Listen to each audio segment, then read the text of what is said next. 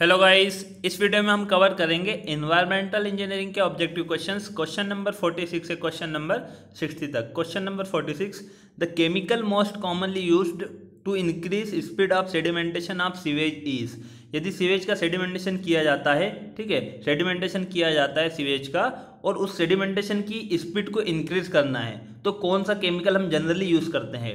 तो हम देख लेते हैं, यहाँ पर चार ऑप्शन दिए गए हैं। इसमें से जो लाइम है ऑप्शन सी है, वो करेक्ट होगा। लाइम होता है, उसका यूज़ हम सीवेज के सेडिमेंटेशन के लिए करते हैं, ठीक है? और उस सेडिमेंटेशन की स्पीड बढ़ाने के लिए हम लाइम का यूज़ करते हैं एज अ कोगुलेंट या केमिकल एज अ कोगुलेंट या केमिकल हम यूज़ करते हैं लाइम का, ठीक है फ्रेंड्स हम हम देख लेते हैं लाइम कहाँ से हमें प्राप्त होता है। लाइम कहाँ से प्राप्त होता है, वो हम देख लेते हैं। Lime is manufactured product made from limestone or dolomite. जो लाइम होता है वो मैन्युफैक्चर्ड कहाँ से होता है? लाइम स्टोन से या डोलेमाइट से। लाइम स्टोन का मतलब होगा कैल्शियम कार्बोनेट और डोलेमाइट का मतलब होता है कैल्शियम मैग्नीशियम कार्बोनेट। इससे हमें प्राप्त होता है लाइम। ठीक है? अब हम देख लेते हैं इसका यूज़ कहाँ पर किया जाता है लाइम का। Lime is use to treat both drinking water and waste water. जो वेस्ट वाटर होता है या सीवेज वाटर होता है और ड्रिंकिंग वाटर है, इन दोनों के ट्रीटमेंट के लिए हम लाइम का यूज़ करते हैं। यदि आप सीवेज का सेडिमेंटेशन करते हो सीवेज का सेडिमेंटेशन किया जाता है और सेडिमेंटेशन की यदि स्पीड बढ़ाना है तो हम लाइम का यूज़ करेंगे और यदि ड्रिंकिंग वाटर का सेडिमेंटेशन किया जाता है और उसकी स्पीड बढ़ाना है तो उसके लिए हम यूज़ करते हैं एलम ठीक है फ्रेंड्स आपको ये नाम याद रखना है। एलम का यूज़ किया जाता है ड्रिंकिंग वाटर का, यदि सेडिमेंटेशन करना है तो उसकी स्पीड बढ़ाने के लिए। और सीवेज का सेडिमेंटेशन किया जाता है तो किसका यूज़ करेंगे हम? लाइम का यूज़ करेंगे। क्वेश्चन नंबर फोर्टी सिक्स का आंसर क्या होगा? सी करेक्ट होगा। लाइम का यूज़ करेंगे। सीवेज का सेडिमेंटेशन यदि किया जाता है तो इंक्रीज उसकी स्पीड के लिए। Question number forty six answer C is correct question number forty seven in water treatment rapid gravity filters are adopted to remove यदि वाटर का ट्रीटमेंट किया जाता है, ठीक है, और उसमें यदि रेपिड ग्रेविटी फिल्टर्स का हमने यूज़ किया है तो उसका यूज़ हम क्या रिमूव करने के लिए करेंगे? यहाँ पर चार ऑप्शन आपको दिए गए हैं, चार इम्पेरिटीज बताई गई है तो किस इम्पेरिटीज को हम रिमूव करने के लिए रेपिड ग्रेविटी फ़िल्टर का यूज़ करते हैं? तो फ्रेंड्स हम थोड़ा देख लेते हैं इसके बारे में, जो ट्रीटमेंट किया जाता है वाटर का ट्रीटमेंट होता है वो किस तरीके से होता है? वाटर जो जनरली जो सोर्स होगा सोर्स होगा सोर्स रिवर हो सकता है, ठीक है? ये सरफेस सोर्स हो सकते हैं। जनरली हम ट्रीटमेंट वाटर का करते हैं, जो सरफेस सोर्स होता है। सोर्स दो प्रकार के होते हैं, एक सरफेस सोर्स होता है और एक ग्राउंड सोर्स होता है। ग्राउंड के जो नीचे पानी होगा, उसको हम ग्राउंड सर सोर्स कहेंगे और ग्राउंड के ऊपर जो पानी मिल जाता है हमें, वो हमारा सरफेस सोर्स कहलाता है। सरफेस सोर्स का एग्ज़ाम्पल रिवर होगा लेक हो सकती है, ठीक है? तो इसका यदि हमें ट्रीटमेंट करना है, ये हमारा सोर्स होगा। ट्रीटमेंट करने के लिए हम एक इंटेक बनाते हैं, ठीक है? एक हम फ्लो चार्ट यहाँ पर देख लेते हैं किस तरीके से ट्रीटमेंट किया जाता है। जो रिवर है, उसमें जो फ्लोटिंग मैटर्स होंगे या बड़े पार्टिकल्स होंगे, उन पार्टिकल्स को रिमूव करने के लिए हम पहले क्या बनाते हैं? इंटेक बना लेते हैं। ये इंटेक यहाँ पर बनाया। इंटेक बनाने के बाद, ठीक है? इंटेक बनाने के बाद इस पानी को ट्रीटमेंट प्लांट में सप्लाई किया जाता है। ट्रीटमेंट प्लांट जो होता है, वहाँ पर अलग अलग यूनिट्स बनी होती है। वहाँ पर एक यूनिट होगी एरेशन होती है। एरेशन में क्या किया जाता है? जो भी इसमें गैसेस होती है, जो अनवांटेड गैसेस होती है, उसको रिमूव किया जाता है एरेशन के द्वारा। एरेशन में क्या किया जाता है? पानी को स्प्रिंकल किया जाता है एटमॉस्फेयर में। पानी को स्प्रिंकल करते हैं एटमॉस्फेयर में, जिससे कि एटमॉस्फेयर में जो ऑक्सीजन होती है, वो ऑक्सीजन वाटर में मिल जाती है और जो वाटर में अनवांटेड गैसेस है, जिसकी आवश्यकता नहीं है, वो क्या होती है, एटमॉस्फेयर की सहायता से वाटर से बाहर हो जाती है। ठीक है फ्रेंड्स, वो एरेशन कहलाएगा। ठीक है, एरेशन के बाद क्या होता है, पानी को सेडिमेंटेशन टैंक में ले जाया जाता है। सेडिमेंटेशन के बाद उसको फिल्ट्रेशन किया जाता है पानी का। फिल्ट्रेशन के बाद उसमें डिसइंफेक्शन किया जाता है और डिसइंफेक्शन के बाद उसको वाटर सप्लाई किया जाता पब्लिक के लिए। ये इसकी वाटर ट्रीटमेंट की प्रोसेस होती है फ्लो चार्ट इसका इस प्रकार से बना हुआ होता है। तो आपको पूछा गया है कि यहाँ पर रेपिड ग्रेविटी फिल्टर्स तो हमें पढ़ना है फिल्ट्रेशन के बारे में।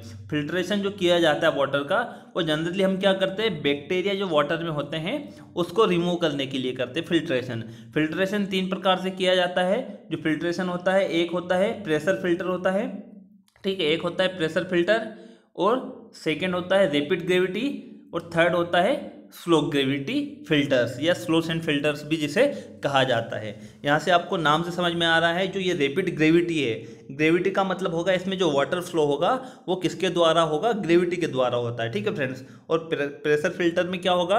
हम उस फ़िल्टर में पानी प्रेशर से सप्लाई करते हैं, जिससे कि ज़्यादा हमें आउटलेट मिल पाए। तो वो हमारा प्रेशर फ़िल्टर होता है तो जो प्रेशर फ़िल्टर होता है, उसका रेट ऑफ़ फ्लो भी ज़्यादा होगा, उससे हमें जो डिस्चार्ज मिलेगा, जो फ़िल्टर पानी होगा फ़िल्टर पानी, वो हमें ज़्यादा मिलता है, ठीक है फ्रेंड्स यहाँ पे हम देख लेते हैं रेपिड ग्रेविटी फिल्टर्स तो जो फिल्टर्स होते हैं, उनका जनरली हम यूज़ किसके लिए करते हैं? बैक्टीरिया को रिमूव करने के लिए। क्वेश्चन नंबर फोर्टी सेवन का आंसर क्या हो जाएगा? आंसर डी करेक्ट होगा। ऑप्शन सी यहाँ पर फ्लोटिंग सॉलिड्स है। तो जो फ्लोटिंग मेटर्स होते हैं, ठीक है? फ्लोटिंग मेटर्स हम कहाँ पर यूज़ उसको रिमूव कर देते हैं? जो सोर्स है सोर्स से हम क्या बनाते हैं? इंटेक बना देते हैं सोर्स के पास में। तो इंटेक के द्वारा हम किसको रिमूव करते हैं? फ्लोटिंग सॉलिड्स को। ठीक है फ्रेंड्स क्वेश्चन नंबर फोर्टी का आंसर क्या हो जाएगा? डी करेक्ट होगा। बैक्टीरिया यदि रिमूव करना है तो रेपिड सेंट फ़िल्टर का यूज़ किया जाता है। The rate of filtration in slow sand filters in million litres per day per hectare is about आपको क्वेश्चन में पूछा गया है कि जो स्लो सेंट फिल्टर्स होता है, उसकी रेट ऑफ़ फिल्ट्रेशन आपको बताना है, ठीक है? Million litres per day per hectare में आपको यूनिट का ध्यान रखना है, जो यूनिट पूछी गई है, वो किसमें पूछी गई है? M L D million litre per day per hectare ठीक है फ्रेंड्स तो हम देख लेते हैं। जो तीन प्रकार के हमने फिल्टर्स देखे थे, इसमें हम दो अभी देखते हैं स्लो सेंड और रेपिड सेंड को। यहाँ पर कवर करेंगे, इन दोनों को कंपेयर करते हैं। यहाँ पर जो आपको पूछा गया है, ये फोर्थ पॉइंट आप यहाँ देखिए रेट ऑफ़ फिल्ट्रेशन आपको रेट ऑफ़ फिल्ट्रेशन पूछा गया है तो स्लो सेंड में कितना होता है? हंड्रेड से टू हंड्रेड और रेपिड सेंड में कितना होगा? थ्री थाउज़ेंड से सिक्स थाउज़ेंड होता है, ठीक है फ्रेंड्स यहाँ पर जो हंड्रेड से टू हंड्रेड है, उसकी यूनिट क्या दी गई है? Litre per hour per metre square ठीक है? और यहाँ पर थ्री थाउज़ेंड से सिक्स थाउज़ेंड जो दिया गया है, वो भी उसकी लिमिट क्या होगी? Litre per power per hour per metre square लेकिन आपको जो क्वेश्चन में पूछा गया है, वो पूछा गया है M L D per hectare वो आपको एम एल डी में पूछा गया है। तो यदि हम इसको एम एल डी में कन्वर्ट करेंगे तो हमारा आंसर क्या हो जाएगा? आंसर ए करेक्ट होगा स्लो सेंड फ़िल्टर के लिए। जो रेट ऑफ़ फिल्ट्रेशन होती है, वो कितनी होती है? 50 से 60 M L D million litre per day per hectare एक हेक्टेयर में वो एक दिन में कितना पानी फ़िल्टर करेगा? पचास से साठ मिलियन लीटर ठीक है friends question number forty eight का आंसर क्या हो जाएगा? आंसर ए करेक्ट होगा। नेक्स्ट क्वेश्चन देखते हैं। इसमें हम और देख लेते हैं जो पॉइंट्स यहाँ पर दिए गए हैं, जो कंपैरिजन दिया गया है, क्योंकि जो नेक्स्ट कुछ क्वेश्चन है, वो इसी पे बेसिस है स्लो सेंड और रेपिड सेंड पे। तो हम इसको डिस्कस कर लेते हैं। उसके बाद हम नेक्स्ट क्वेश्चन डिस्कस करेंगे। इसमें पॉइंट वन है size of filter size of filter slow sand filter है और रेपिड सेंड फ़िल्टर है। तो किसमें हमें एरिया ज़्यादा लगेगा फ्रेंड्स जो स्लो सेंड फ़िल्टर है, उससे हमें कम पानी फ़िल्टर हो पा रहा है स्लो सेंड से। और रेपिड सेंड से क्या होगा? ज़्यादा पानी फ़िल्टर होगा। तो ज़्यादा पानी फ़िल्टर होगा तो हम कम एरिया में ही उससे ज़्यादा पानी फ़िल्टर कर पाएँगे। ठीक है फ्रेंड्स तो रेपिड सेंड में स्मॉल एरिया लगता है और स्लो सेंड में लार्ज एरिया लगेगा। इफ़ेक्टिव साइज़ इफ़ेक्टिव साइज़ यहाँ पर देख लेते हैं, जिसको डी टेन से भी रिप्रेजेंट करते हैं। ये मैंने आपको सॉइल मैकेनिक्स में समझाया है।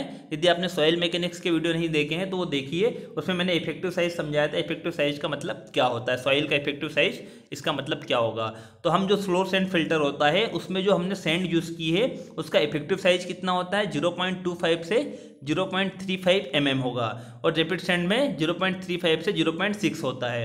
ठीक है फ्रेंड्स तो यहाँ पर हम देख सकते हैं स्लो सेंड में जो सेंड पार्टिकल्स हैं, उनका इफ़ेक्टिव साइज़ कम है रैपिड सेंड में इफ़ेक्टिव साइज़ ज़्यादा है।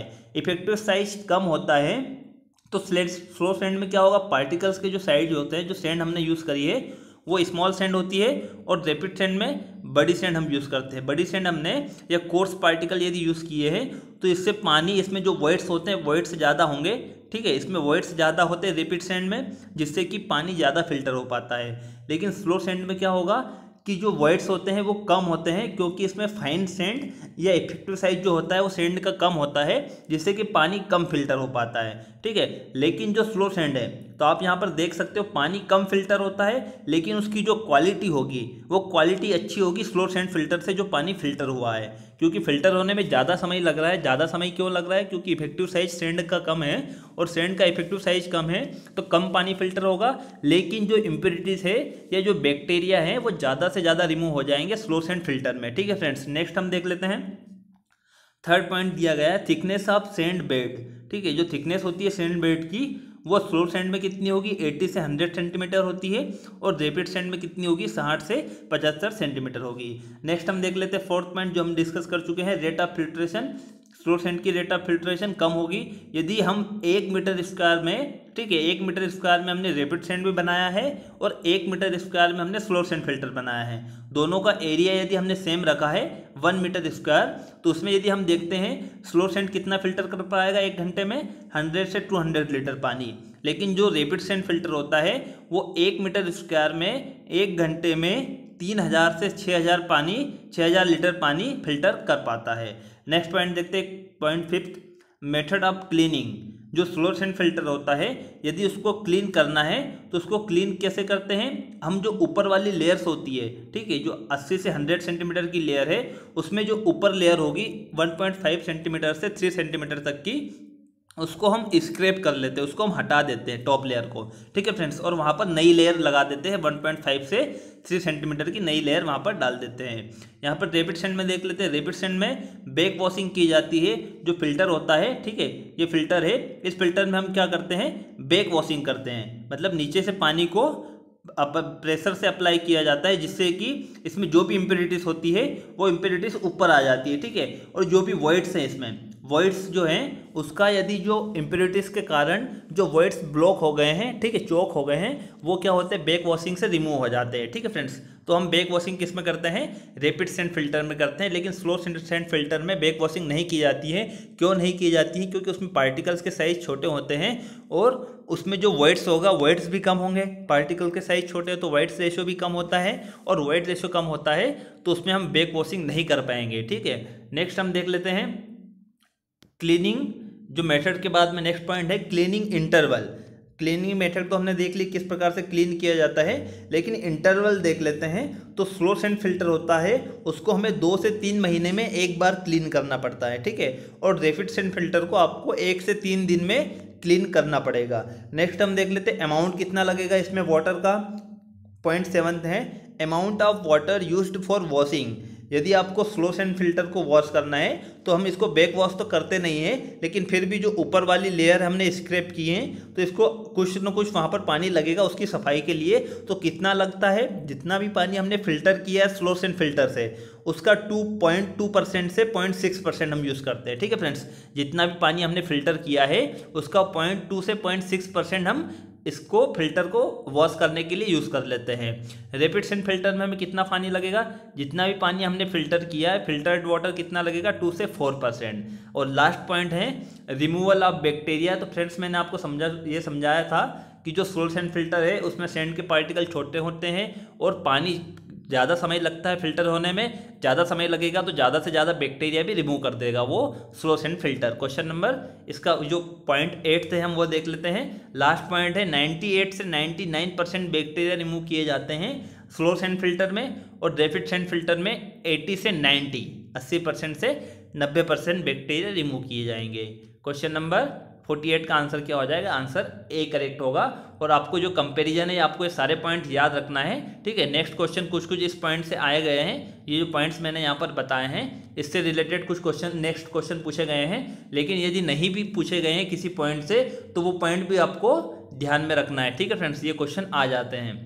यहाँ पर हम देखते हैं the effective size of sand particles use in slow sand filters is आपको पूछा गया है कि स्लो सेंड फ़िल्टर में जो इफ़ेक्टिव साइज़ होता है सेंड का वो कितना होता है? तो स्लो सेंड में फ्रेंड्स कितना होगा? पॉइंट टू फाइव से point three five question number forty nine का आंसर क्या हो जाएगा? आंसर ए करेक्ट होगा.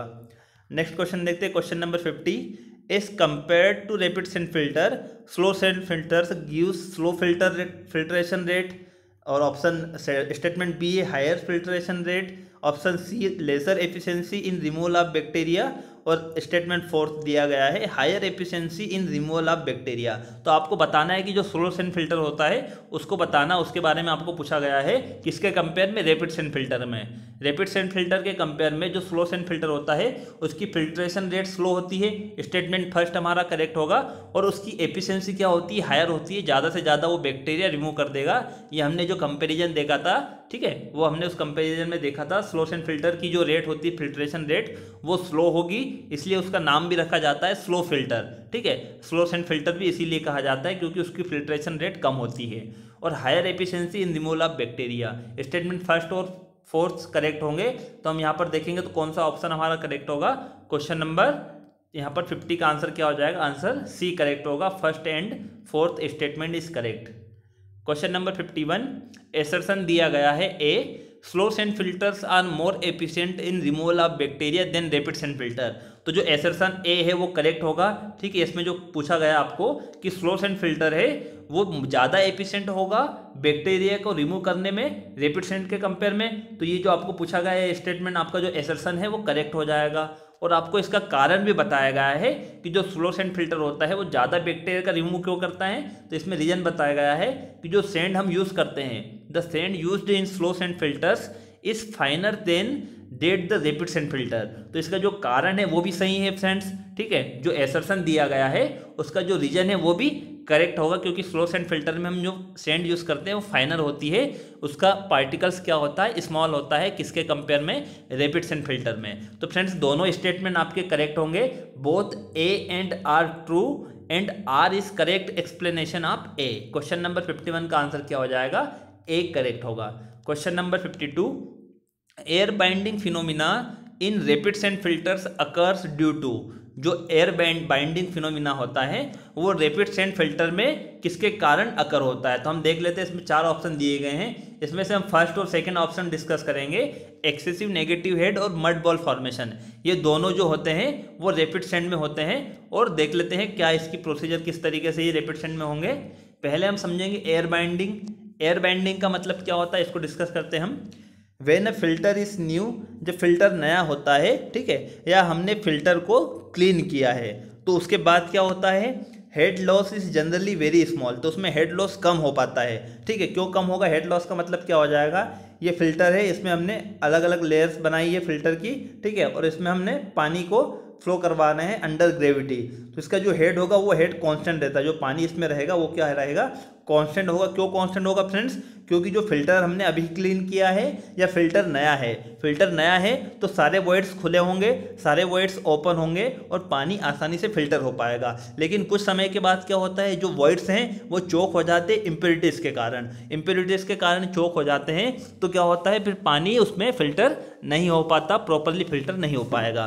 तो हम यहाँ पर देख लेते हैं when the filter is new head loss is generally very small the loss of head goes on increase as more and more impurities gets get trapped into it मतलब ज़्यादा से ज़्यादा इम्प्योरिटीज़ क्या होती है? उसके वॉइड्स में ट्रेप्ड हो जाती है, ठीक है? उसके कारण क्या होता है? हेड लॉस क्या होता है? इंक्रीज होने लगता है। A stage is finally reaches when the frictional resistance offered by the filter media जो फ़िल्टर मीडिया है, ठीक, ये सेंड है। सेंड के आसपास क्या हो जाएगी? इम्प्योरिटीज जमा हो जाती है। इम्प्योरिटीज जमा होने के बाद क्या होगा? फिर जब यहाँ से पानी फ़िल्टर होगा तो पानी फ़िल्टर होगा तो एक रजिस्टेंस उसको ऑफ़र करेगा। मतलब रजिस्टेंस होगा, पानी प्रॉपर फ़िल्टर नहीं हो पाता है। ठीक है फ्रेंड्स यहाँ पर पानी प्रॉपर फ़िल्टर नहीं हो पाएगा। Most of this resistance is offered by the top ten to fifteen centimetre sand layer तो ऊपर की जो लेयर होती है जनरली वहीं पर इम्पेरिटिस रुक जाती है, ठीक है? और इम्पेरिटिस क्या होगा? जो सेंड की अपर लेयर है, उसमें जो 10 से 15 सेंटीमीटर की लेयर है, यहाँ पर इम्पेरिटिस ट्रेप्ड हो जाती है सेंड के पार्टिकल्स के चारों ओर जमा हो जाती है, जिसके कारण जो रेजिस्टेंस ऑपर होता है, जब पानी फ्लो करवाया जाता है, ठीक है? तो जो रेजिस्टेंस ऑपर होता है, वो कहाँ पर होगा? अपर लेयर में जनरली पंद्रह से दस से पंद्रह सेंटीमीटर में वो देखा जाता है resistance the bottom sand act like a vacuum जो नीचे वाली सेंड होगी, वो किसकी तरह काम करेगी? वैक्यूम की तरह वो पानी को खींचने की कोशिश करेगी। And water is sucked through the filter media rather rather than getting filter through it the negative pressure are develop तो उसके कारण क्या होता है? नेगेटिव प्रेशर डेवलप हो जाता है। जब नीचे वाली जो सेंड है, वो पानी को वैक्यूम की तरह उसको सक कर रही है, खींच रही है, ऊपर से पानी को खींच रही है तो क्या होता है? उसमें नेगेटिव प्रेशर डेवलप हो जाता है। ठीक है फ्रेंड्स तो नेगेटिव प्रेशर डेवलप हो गया the formation of bubbles takes place और उसके अंदर क्या होते हैं? बबल्स बनने लगते हैं, क्योंकि जब पानी अंडर ग्रेविटी तो फ्लो हो रहा है, लेकिन जब वो वैक्यूम की तरह नीचे वाली लेयर उसको सक भी करती है तो क्या होता है? कुछ एयर को भी वो सक कर लेती है पानी के साथ, ठीक है? और उसमें बबल्स बनने लगते हैं. This phenomenon is known as air binding as there air binds the filter and stop its functioning और उसको फिर क्लीन करना पड़ता है। ऐसी स्थिति जब आ जाती है एयर बाइंडिंग की तो उसमें क्या करेंगे हम? उस फ़िल्टर को क्लीन करेंगे, ठीक है फ्रेंड्स? तो यहाँ पर जो आपने देखा था अभी, जो हमने कंपैरिजन पढ़ा था, उसमें रेपिड सेंट फ़िल्टर को हम एक से तीन दिन में फ़िल्टर करते हैं। सॉरी एक से तीन दिन में उसको क्लीन करते हैं। जो क्लीन किया जाता है, वो एक से तीन दिन में इसीलिए हम क्लीन करते हैं, क्योंकि उसमें ज़्यादा पानी फ़िल्टर होता है। ज़्यादा पानी फ़िल्टर होता है तो ज़्यादा से ज़्यादा इम्प्योरिटीज उसमें आएगी सेंड में और ज़्यादा इम्प्योरिटीज आएगी तो उसको जल्दी से जल्दी हमें क्या करना पड़ेगा? क्लीन भी करना पड़ता है, ठीक है फ्रेंड्स नेक्स्ट हम देख लेते हैं लास्ट यहाँ पर यदि इसको हमें हटाना है, जो एयर बाइंडिंग आती है या जो बबल्स आना स्टार्ट हो जाते हैं, उसको यदि रिमूव करना है तो हमें क्या करना पड़ेगा?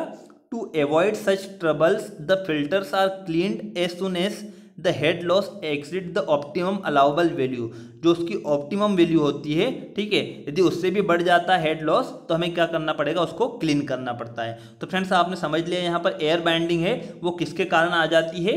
एक्सेसिव नेगेटिव हेड के कारण। और नेगेटिव हेड क्यों आ जाता है? क्योंकि जो बॉटम लेयर होती है सेंड की अपर लेयर में इम्प्योरिटीज जमा हो जाती है, और जो बॉटम लेयर होती है, वो किसका काम करती है? ऊपर जो पानी होता है, उसको खींच लेती है वैक्यूम का काम करती है, और उसके कारण नेगेटिव प्रेशर डेवलप हो जाता है एक्सेसिव नेगेटिव हेड के कारण। क्वेश्चन नंबर फिफ्टी का आंसर क्या हो जाएगा? आंसर ए करेक्ट होगा। और हम मड बॉल फॉर्मेशन भी देख लेते हैं। ये भी क्वेश्चन पूछा जा सकता है मड बॉल फॉर्मेशन क्या होता है? तो फॉर्मेशन समझेंगे। फॉर्मेशन ऑफ़ मड बॉल्स को। फॉर्मेशन ऑफ़ मड बॉल्स का मतलब होता है the mud from the atmosphere usually accumulates on the sand surface to form a dense mat ठीक है फ्रेंड्स जो एटमॉस्फेयर में जो डस्ट होती है, जो मड होती है, वो क्या होती है? सेंड के सेंड सरफेस के कांटेक्ट में आती है और उसको डेंस बना देती है।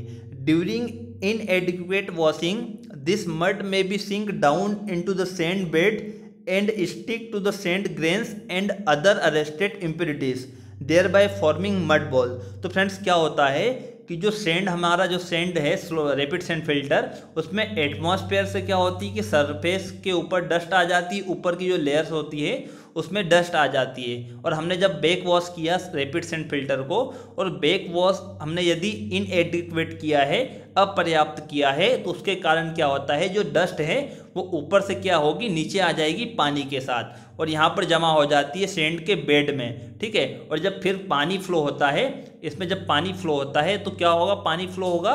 तो ये जो से जो डस्ट जमा हुई है सेंड के बेड में वो क्या करती है सेंड ग्रेन को स्टिक करती है, ठीक है स्टिक करेगी और वो फॉर्मिंग हो जाएगी मड बॉल्स और किसके जैसे बन जाती है मड बॉल जैसे बन जाएगी। तो ये होता है formation of mud balls question number fifty two का आंसर होगा ए हमारा करेक्ट होगा एक्सेसिव नेगेटिव हेट और यदि मड बॉल भी आपको पूछा जाता है नेक्स्ट किसी एग्ज़ाम में तो आप बता सकते हो मड बॉल फॉर्मेशन क्या होता है। Question number fifty three the percentage of filtered water which is use for back washing in rapid sand filter friends हमने डिस्कस किया था, ये पढ़ चुके हम। टू से फोर परसेंट जो पानी हम यूज़ करते हैं रेपिड सेंड फ़िल्टर में बैक वॉश के लिए, ठीक है? और ये पानी फिल्टर्ड वाटर होगा। जो रेपिड सेंड हम रेपिड सेंड से हमने जो फ़िल्टर किया है, उसी पानी का हम यूज़ करते हैं बैक वॉश के लिए। और कितना यूज़ करते हैं? दो से चार परसेंट ये रेपिड सेंड में होता है और स्लो सेंड में हम जो पानी यूज़ करेंगे, कितना यूज़ करेंगे? पॉइंट टू से point four percent back washing के लिए यूज़ नहीं करते हैं। उस वाटर जो फ़िल्टर होता है उसको क्लीन करने के लिए, उसको साफ़ करने के लिए, क्योंकि जो क्लीन किया जाता है स्लो सेंड फ़िल्टर वो हम कैसे क्लीन करते हैं? ऊपर की जो लेयर होती है, एक से तीन सेंटीमीटर के आसपास की लेयर जो टॉप लेयर होती है, उसको स्क्रैप कर लेते हैं, उसको हम हटा लेते हैं और उसकी जगह नई लेयर बिछा देते हैं। तो उस कंडीशन उस प्रोसेस के लिए जब एक लेयर को हटा के दूसरी लेयर हम डालते हैं उसमें तो उसमें जितना पानी लगेगा वो कितना होगा? पॉइंट टू से point four percent slow sand filter में, ठीक है? स्लो सेंट फ़िल्टर में। और रेपिड सेंट में कितना होता है? टू से फोर तो आपको क्वेश्चन में पूछा गया है रेपिड सेंट फ़िल्टर तो कितना होगा? टू से four percent question number fifty three का आंसर सी करेक्ट होगा। नेक्स्ट क्वेश्चन देखते question number fifty four period of cleaning of slow sand filter is about. जो स्लो सेंट फ़िल्टर होता है, उसको क्लीन हम कितने दिन में करते हैं? ठीक है फ्रेंड्स तो उसको हम टू से थ्री मंथ्स में करते हैं। क्वेश्चन नंबर फिफ्टी फोर का आंसर सी करेक्ट होगा। The rate of filtration of pressure filter is तो तीन प्रकार के फ़िल्टर होते हैं। एक प्रेशर फ़िल्टर होता है, एक स्लो सेंड फ़िल्टर होता है, और एक होता है रेपिड सेंड फ़िल्टर तो फ्रेंड्स, यहाँ पर हम देख सकते हैं जो प्रेशर फ़िल्टर होगा उस फ़िल्टर में हम जो पानी सप्लाई करते हैं, वो प्रेशर से सप्लाई करेंगे।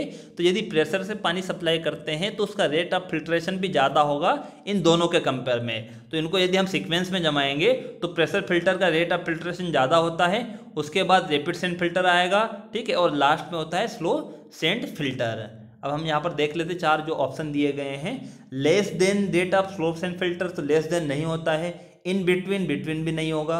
Greater than rate of rapid sand filter question number 55 का आंसर क्या हो जाएगा? वो ज़्यादा होता है रेपिड सेंट फ़िल्टर से। क्वेश्चन नंबर 53 का आंसर सी करेक्ट होगा। नेक्स्ट क्वेश्चन देखते हैं। Question number 56 double filtration is used जो डबल फिल्ट्रेशन हम यूज़ करते हैं वो किस फ़िल्टर में यूज़ करेंगे और क्यों यूज़ किया जाता है। तो फ्रेंड्स, डबल फिल्ट्रेशन हम कहाँ पर यूज़ करते हैं? स्लो सेंड फ़िल्टर में यूज़ करेंगे और डबल फिल्ट्रेशन यदि यूज़ करते हैं तो ज़्यादा फ़िल्टर क्या हो जाता है?